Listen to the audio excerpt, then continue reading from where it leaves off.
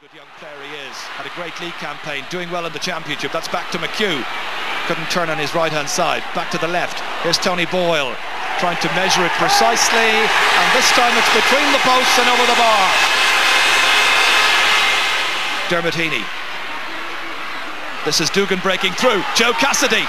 Score is on here for him. Joe Cassidy's first. This is McKeever. Well, Kieran McKeever trying to set up an attack here.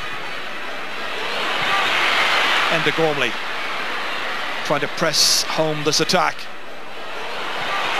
Gary McGill. Heaney's available as well. McGill goes for it. Is that on target? It is! On the sides level. Gary McGill has got the sides level for the fourth time in this Ulster final. Geoffrey McGonigle has been brought into the Derry team late in the match, the number 22 from Dungiven. Man who also plays hurling, of course, for his county. Here's Tohill. Started prominently for 10 minutes.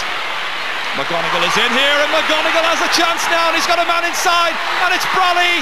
Here it is for Derry, and Derry may well have won the Ulster Championship. Joe Brolly has scored a goal and two points. The goal coming in injury time. And now in the presence of, presence of Her Excellency, the President of Ireland, Kieran McKeever lifts the Anglo-Celt Cup and Derry are once again the champions.